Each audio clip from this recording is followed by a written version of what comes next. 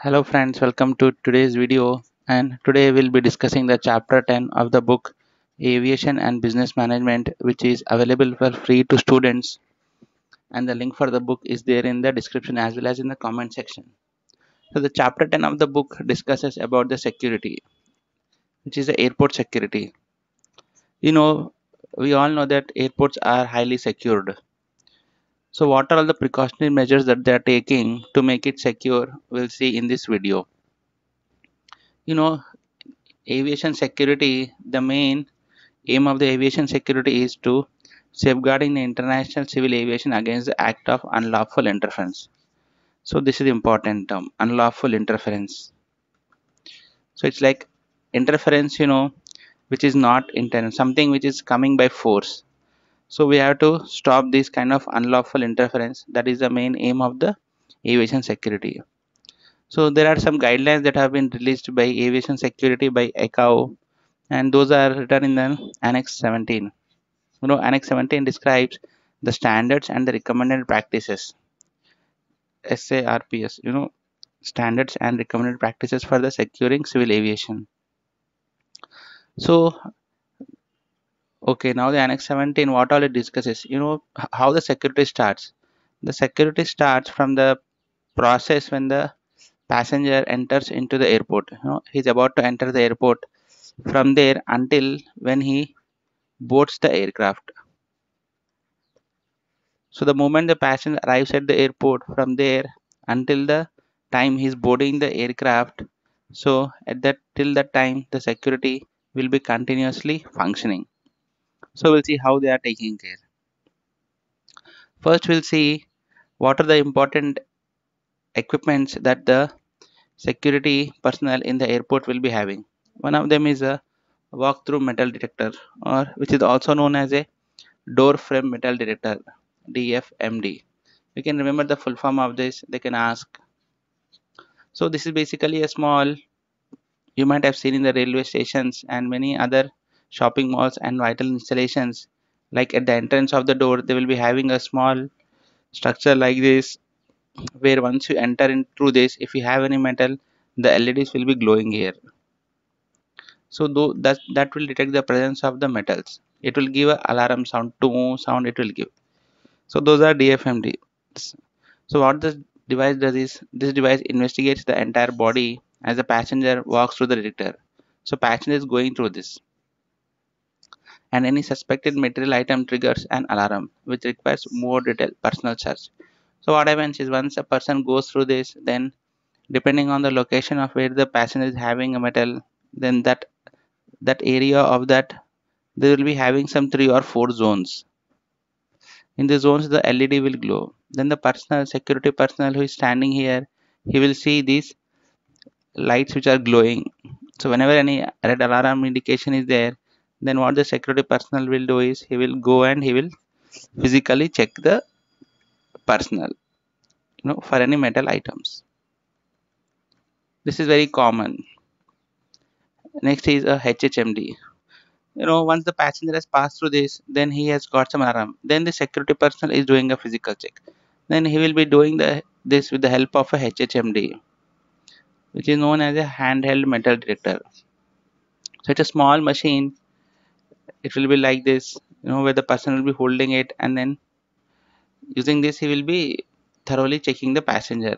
He will be putting that near to the passenger body and then he will see the presence of any metals. So that is a HHMD so passengers triggering the alarm are routinely examined with a handheld metal detector sometimes called a wand sometimes it's also called as wand W-A-N-D so these devices are very light and can be easily manipulated detected both ferrous as well as non-ferrous metals. So it is very light in weight. So so the security guard can easily hold that and he will frisk the passenger.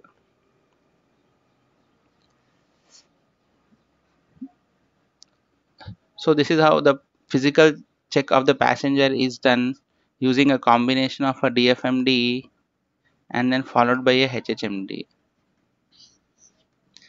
next is the explosive trace detector. Okay now we have understood that metals can be detected, like this. But how will we check if at all any passenger is carrying a explosive or any dangerous items like bomb or something like that? So these things can be detected using a explosive trace detector which is known as the ETD so these devices are available to support two lanes of such they will determine the this is important. The presence of traces of the explosive metal in the metal being carried by the passenger.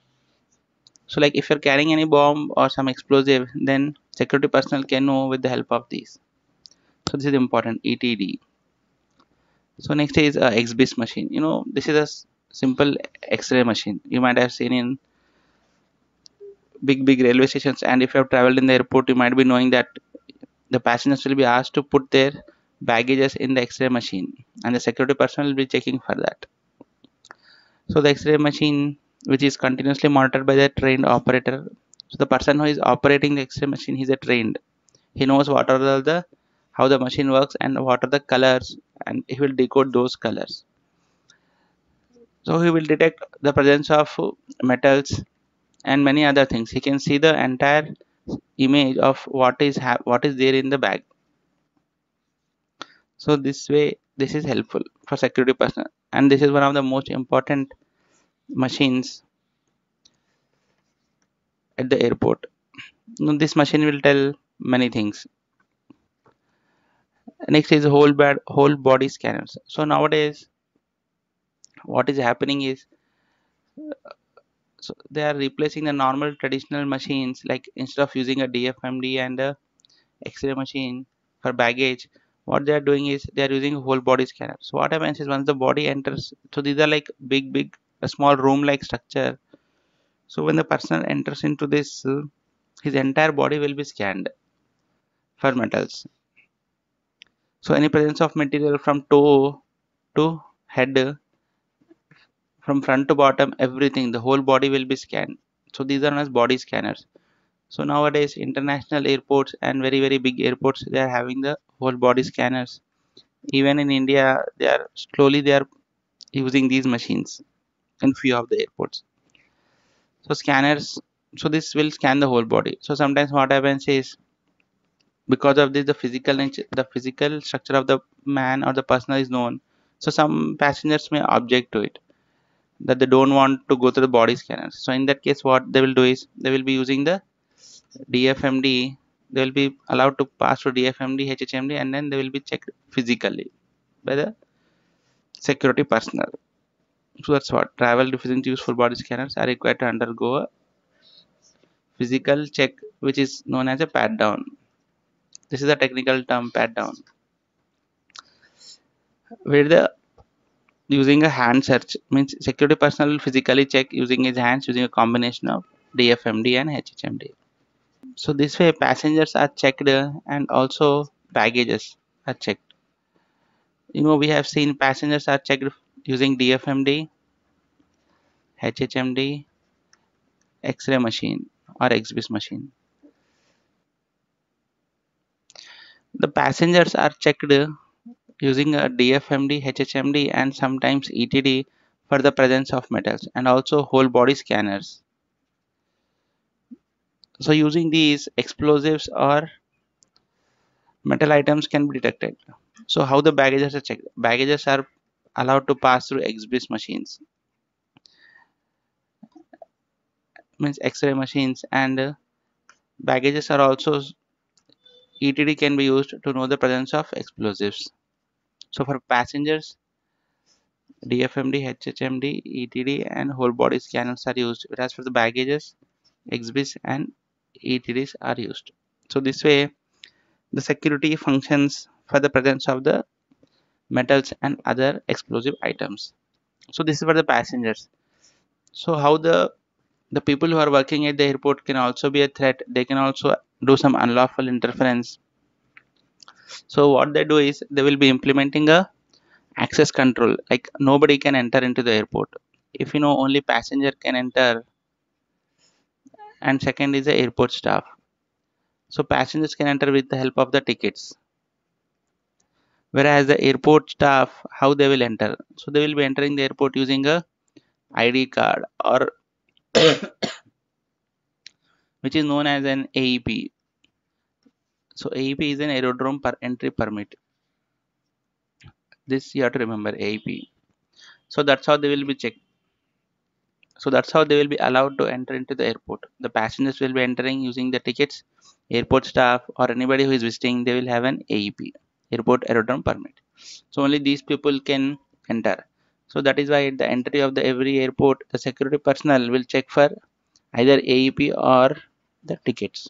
Only then these people will enter. So that's how the security is starting from the entrance of the airport so that is what it is written here. All airport airline ground staff and all other workers needing access to perform jobs and all necessary airline staff crews shall have the authorized entry usually known as aerodrome entry permit.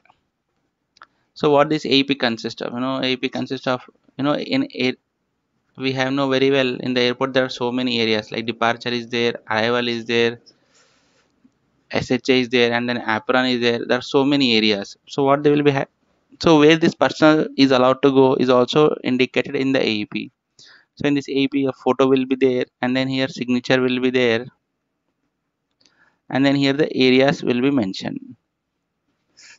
So the personal at the security will check for these three where all is going and photo and signature is matching and then he will see the areas and then only he will allow the person to enter the airport.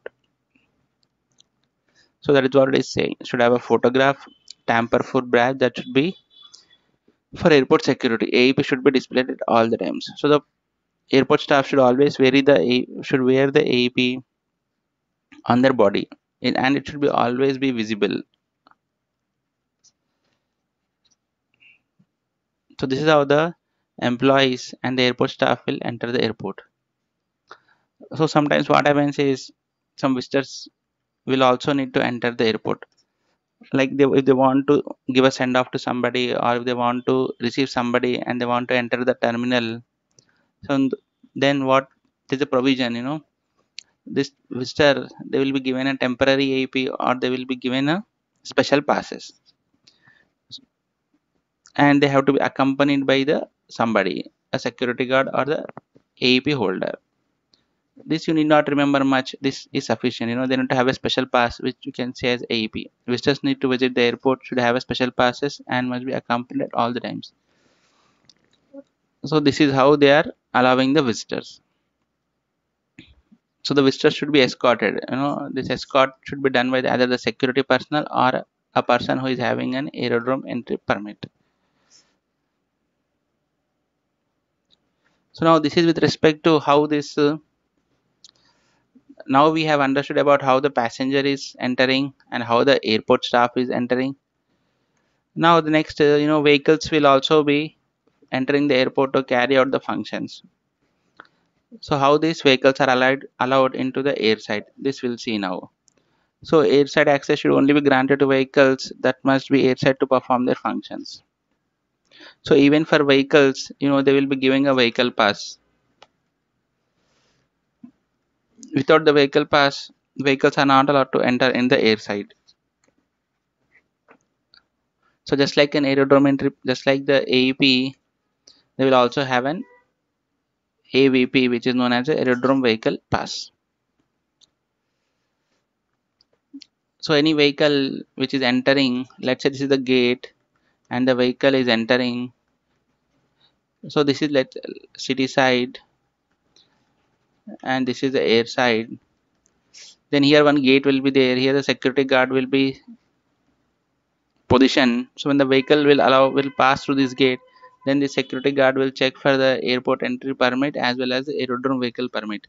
The driver needs to have the aep vehicle needs to have avp so when a person is taking the vehicle then he should have avp as well as the aep aerodrome entry permit for the person and aerodrome vehicle permit for the vehicle.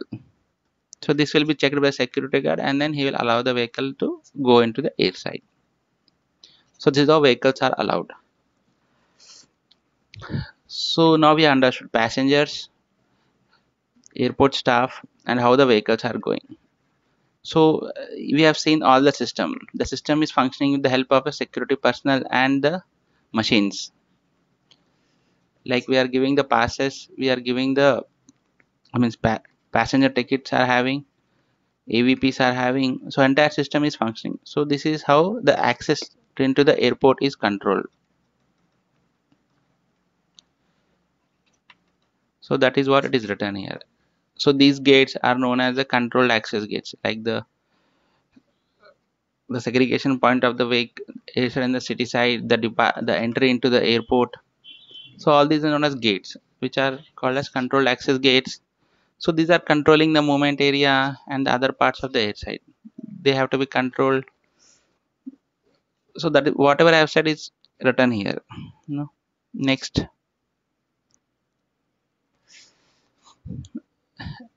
So we have seen security equipments so here just a short brief of all the security equipment that are there. XBIS equipment we know using for baggage check.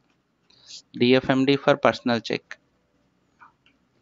Hhmd for also personal and also it can be used for baggage. For metals whole body scanner for the persons. Explosives for the explosives for both the persons and baggage